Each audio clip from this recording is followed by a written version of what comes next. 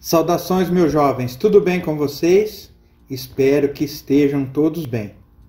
Hoje quero apresentar para vocês um caso bem peculiar que ocorreu na Itália, na Idade Moderna, onde uma mulher foi acusada de ser uma bruxa.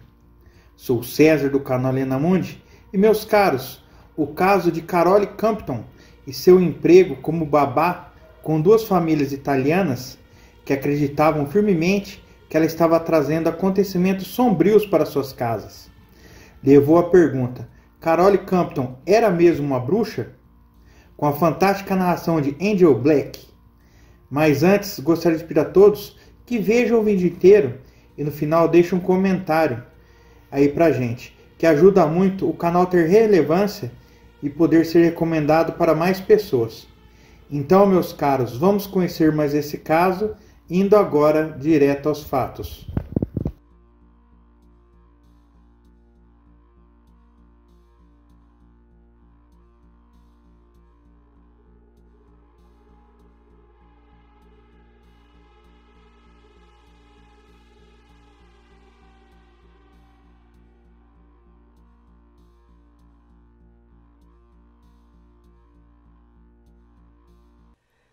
Quando Carole Compton, de 20 anos, desceu do avião em Roma, deve ter acreditado que o mundo estava a seus pés. Era julho de 1982 e a bela escocesa tinha apenas 20 anos. Ela era noiva de um belo soldado italiano que conhecera em sua casa em Aberdeen. Mal sabia Carole que dentro de semanas ela se envolveria em um pesadelo que se retorcia e se transformava como um enredo de um romance de Stephen King até um tribunal italiano e acusações de um fogaréu, vou dizer assim, criminoso, tentativas de assassinato e bizarramente bruxaria. Carole Compton teve uma onda de azar. Pequenas coisas pareciam estar dando errado em sua vida. Itens elétricos estavam quebrando na casa da família e pequenos objetos desaparecendo e reaparecendo dias depois.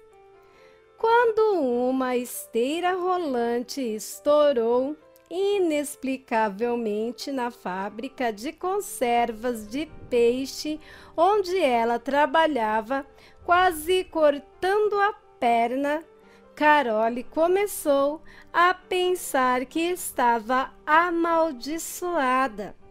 A gota d'água veio quando seu namorado de três anos Marco Vitulano foi chamado de volta à Itália para completar o serviço nacional. Os jovens amantes, com o coração partido com a ideia de se separarem, ficaram noivos. Concordaram que Carole deveria seguir seu noivo até a terra natal dele assim que ela conseguisse um emprego. Em poucas semanas, Carole deixou para trás o céu frio e cinza de granito de Aberdeen e partiu para uma nova vida como babá de uma rica família romana. A agência de babás avisou Carole que as coisas nem sempre funcionam com as famílias. Então, quando a sua primeira colocação provou ser uma péssima escolha, ninguém se preocupou muito.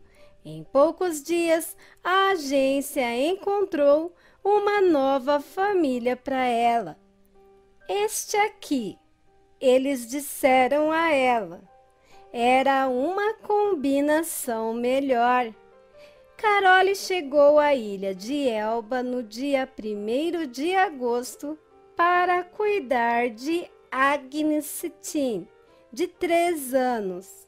A avó da criança não gostou. Já tinha despedido quatro babás inglesas.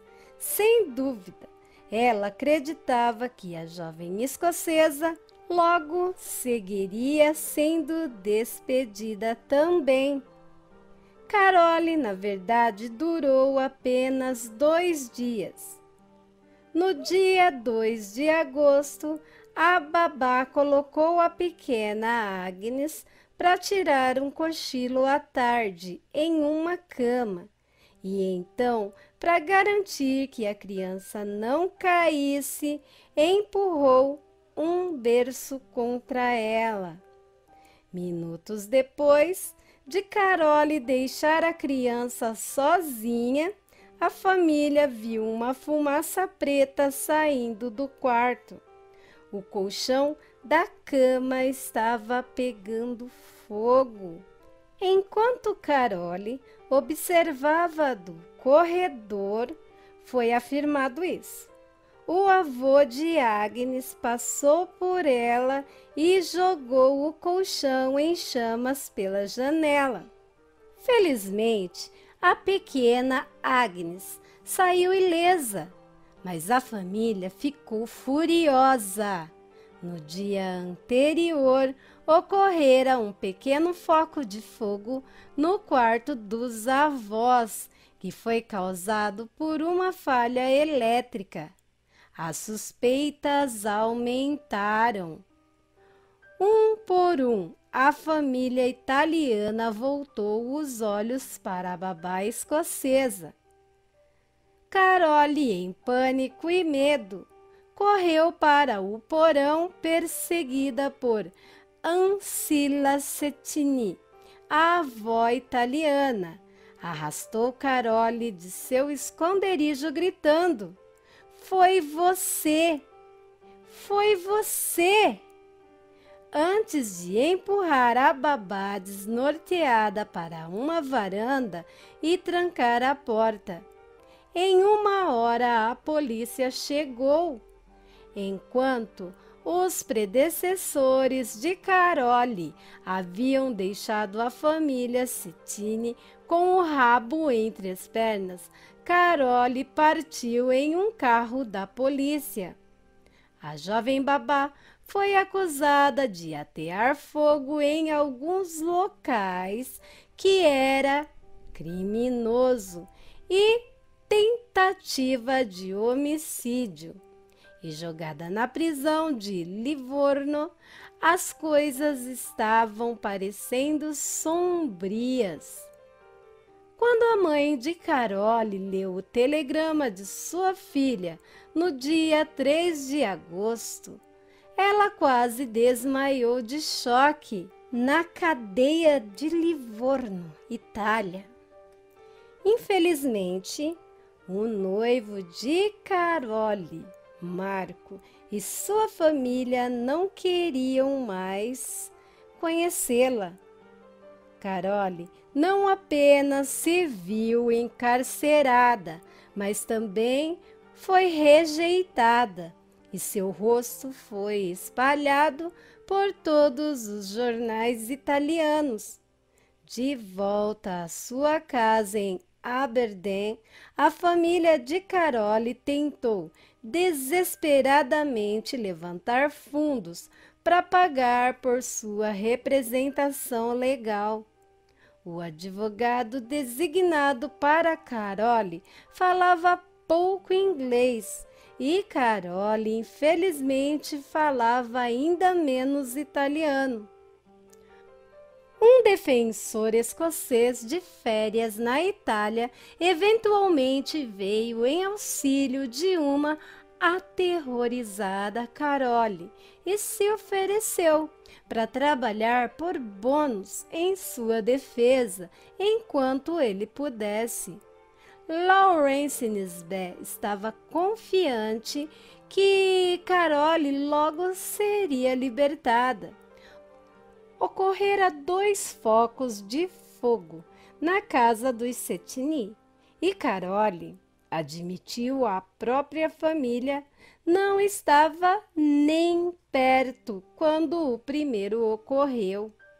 As coisas, porém, tomaram um rumo sinistro quando Ancila Setini acusou Carole de bruxaria em um jornal de circulação nacional. A babá escocesa insistia a avó italiana tinha poderes mágicos e havia provocado os dois incêndios por telecinese. Sensível à enorme publicidade gerada pelos rumores, o juiz que julgou o caso de Carole decidiu que a fiança não seria oferecida, pelo menos até que um exame psiquiátrico completo fosse realizado. Carole agora enfrentava a prisão por meses. Seu advogado, já frustrado com o ritmo do sistema jurídico italiano, suspeitava que ela poderia ficar internada em uma enfermaria psiquiátrica indefinidamente e sem julgamento. A primeira família para a qual Carole trabalhou, os Ricks se manifestaram quando leram sobre os acontecimentos em Elba e a acusaram de causar três focos de fogo enquanto estava em sua casa de férias. As engrenagens do sistema de justiça italiano funcionaram dolorosamente devagar mas, por fim, em dezembro de 1983, o julgamento de Carole começou em Livorno. Nesse inteirinho, a babá perdeu seu advogado britânico e a maior parte de seus fundos legais. Quando amanheceu a manhã de seu julgamento, a desafiadora Carole ficou sozinha e presa diante de um júri. Para aumentar o drama, o julgamento foi realizado em uma capela convertida e impregnada de uma atmosfera de simbolismos religiosos. Para os participantes do julgamento, parecia que estavam testemunhando uma batalha entre o bem e o mal. Essa garota de aparência inocente era realmente uma bruxa? Quando o juiz estava prestes a falar, as grandes portas de madeira do pátio foram abertas e uma figura entrou na sala. Encantado, o tribunal lotado observou uma velhinha vestida de preto e segurando um grande crucifixo de madeira diante de si. Caminhou lenta e decididamente em direção a Carol, resmungando baixinho. Ciara Lobina, uma conhecida vidente curandeira pela fé na Itália, tinha vindo para livrar Carole de seus demônios. Desimpedida, a médium conseguiu empurrar seu crucifixo através das barras de metal da gaiola de Carole em uma tentativa de alcançar a babá encolhida. No último momento, um membro do consulado britânico saltou para frente e a conteve. Ciara Lobina foi rapidamente despejada do tribunal, mas não antes de falar à imprensa reunida. E disse ela, abre aspas, a menina escocesa e sua mãe estão ambas possuídas por uma bruxa do século XVIII. Mas são inocentes e não percebem isso. Eu não queria fazer mal a elas, mas eu só queria tocar as duas. Fecha aspas. O juiz tentou desesperadamente restaurar a calma e a ordem ao atordoado tribunal.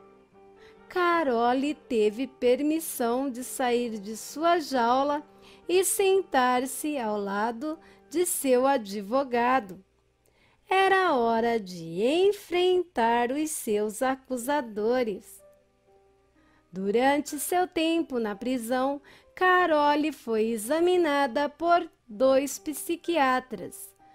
Ambos concordaram que Carole tinha o que eles chamam de uma personalidade anormal, com tendências psicopáticas. Apesar de julgá-la de inteligência abaixo da média, eles alegaram que ela deliberada e maliciosamente construiu uma atmosfera de tensão e bruxaria em ambas as casas para sua própria diversão. Carole, eles acreditavam, era totalmente responsável por suas ações e não exibia tendências psicóticas. Ela foi motivada por seu desejo de retornar a Roma e ao namorado. O júri finalmente deu seu veredito em 16 de dezembro de 1983 Carole foi declarada inocente de tentativa de homicídio, mas culpada de duas acusações de fogo criminoso. Como estava encarcerada já por 17 meses, a babá foi sentenciada à pena de prisão e liberada. A soluçante Carole foi retirada do tribunal e voou para casa em Aberdeen no mesmo dia. Um relatório escrito em janeiro de 1984 explicou o motivo do veredito do tribunal.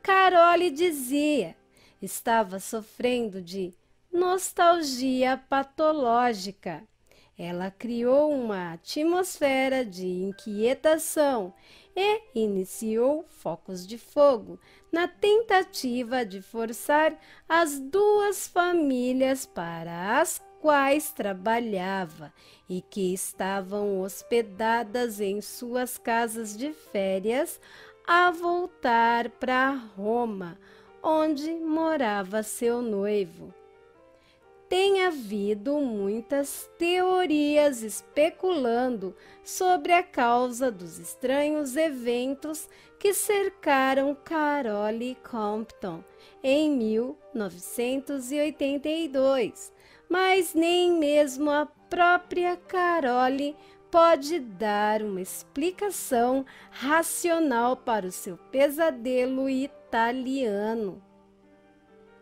Ela era, como alguns acreditam, uma jovem perturbada, possuída por um espírito demoníaco ou um poltergeist, um psicopata incendiário manipulando aqueles ao seu redor para o seu próprio divertimento. Ou ela era, afinal, apenas uma babá triste e solitária em um país estranho, que foi vítima de uma boa caça às bruxas à moda antiga. Caso intrigante esse, não é mesmo? Esse caso mexe muito com os nossos pensamentos. O que leva uma pessoa a atear fogo nas coisas. Isso é um grande risco para ela e para quem vivia com ela naqueles locais. Espero que tenham gostado do conteúdo e deixem um comentário, né? Dando a sua opinião e também deixando sugestões de novos casos para que nós estejamos trazendo para vocês aqui no canal. Também, se você gostou do conteúdo e ficou comigo aqui até o final desse vídeo, se inscreve no canal. Não esquece de deixar o seu gostei, o seu like como uma forma de incentivo para o canal, fazendo também o YouTube compreender que vocês estão gostando do que estamos trazendo aqui. Compartilhe nos seus grupos de amizade, de família e em suas redes sociais. Leve o conteúdo do canal para mais pessoas que gostam desse nicho assim como eu e você. E se você quiser estar sempre sendo notificado quando um conteúdo sair aqui no canal, você vai lá no sininho das notificações na opção Todas e assim, toda vez que um novo caso for narrado aqui no canal Fronteiras, você será notificado e poderá acompanhar assim que ele chegar aqui nessa plataforma. Bom, muito obrigado por ter ficado aqui até o final. Fiquem com Deus e até o próximo caso. Tchau, tchau.